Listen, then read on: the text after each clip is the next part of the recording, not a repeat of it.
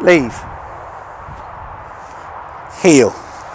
So the final step or the final process or stage in the memory retrieve skill or drill or technique is to get rid of the track. But we've still got to be aware of ground scent, we've still got to be aware of where we're walking, heel.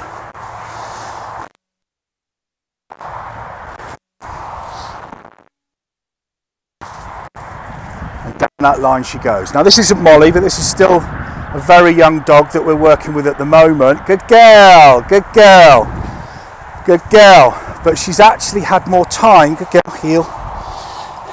Sit, sit, good girl. Good girl, heel.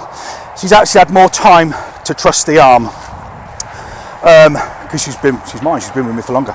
But that's the next stage. The final step, so to speak, is to get rid of the track, but still be careful of where you're walking and then proof that skill by putting obstacles in between the handler or you and the item that's on the floor.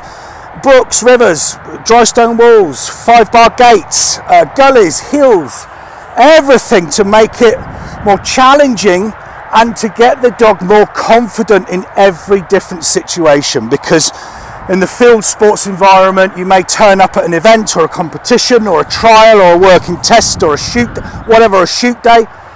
And oh my god it's in the middle of Yorkshire. My dog's never seen a dry stone wall before. Oh god we're going to struggle today. So you've got to proof your training for every environment.